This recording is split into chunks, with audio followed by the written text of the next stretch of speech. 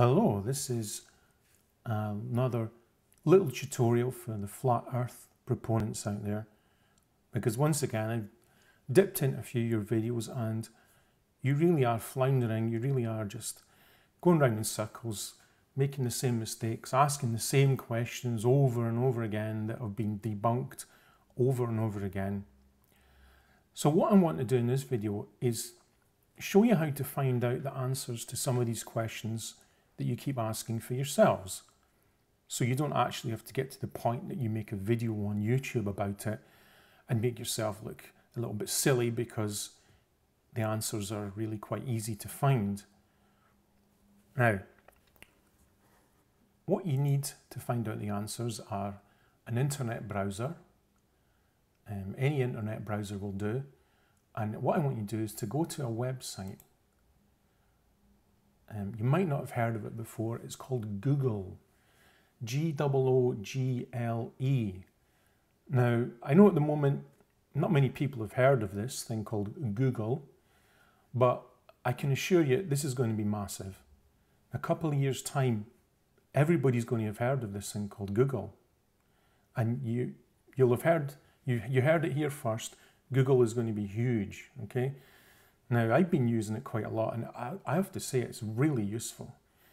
Now, what I want to do is have a look at how to answer, say, one particular question. Now, one of the things that keeps being brought up by flat earthers is this idea that the hours of the day should get out of sync with the sun if the sun is, if the earth is rotating around the sun. Well, let's just see if we can find an answer to that. Well, Let's just start with a really simple question. What is a day? And there you go. Google, I'll make that bigger for you. Google comes up with a definition. A day, each of the 24 hour periods reckoned from one midnight to the next. Uh, now, then, the first entry down here brings you to another website you've probably not heard of. It's called Wikipedia. Again, a bit like Google, no one's heard of it at the moment, is going to be huge. Believe me. Again, another first, you heard it here first. Another couple of years, everyone's going to be talking about Wikipedia. Now, I've discovered loads of stuff on here. And it says a day is a unit of time. In common usage, it is an interval equal to 24 hours. Now, the interesting bit here is it says the period of time, so it means the day is the period of time during which the Earth completes one rotation with respect to the Sun is called a solar day.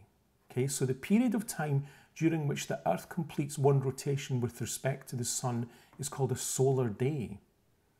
Now, what do we mean by this, a solar day? Solar time is a reckoning of the passage of time based on the Sun's position in the sky. The fundamental unit of solar time is the day. So this is implying that there are different ways of defining what a day is, and that there's this thing called a solar day, which is based on the sun's position in the sky. Now let's go back to Google and we'll type in, well, what we say is if you type something in Google, you say that you're Googling it. Okay, so we're going to Google solar day and see what it comes up with. Okay, so a solar day is the time it takes for the Earth to rotate about its axis so the Sun appears in the same position in the sky. Now this is interesting. A sidereal day is the time it takes for the Earth to rotate about its axis so that the distant stars appear in the same position in the sky. So we've got these two different things. We've got a solar day and a sidereal day. If you look into this a little bit further, you'll find out that basically we live by a solar day. That's why the sun doesn't get out of sync with the hours of the day as, the, as the earth rotates around the sun. Now, I even found out a little thing for you to look at here. Solar day. This is another really good website, Edumedia. Now, here we go. Let's bring this up. Come on.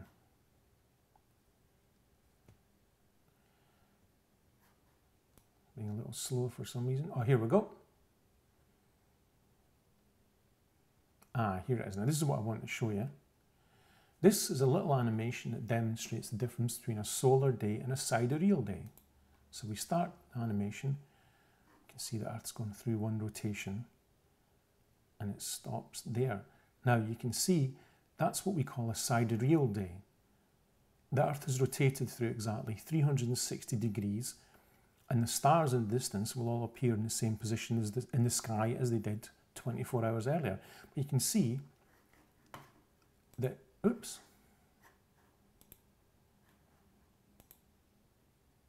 let's see if I can do this again, it's messing me about. Right, I'll do that again. Hopefully it won't come up with that thing again. Right, okay, so there's a sidereal day. Takes 23 minutes so 23 hours, 56 seconds. You go on again, and it gives you a solar day, which is 24 hours, which is more than 363 degrees. Sorry, 360 degrees, yes. So if the Earth turns through 360 degrees, that's a sidereal day.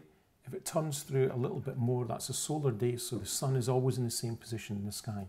So over the course of a year, we define our days as solar days, so that means that they don't get out of sync with the position of the sun.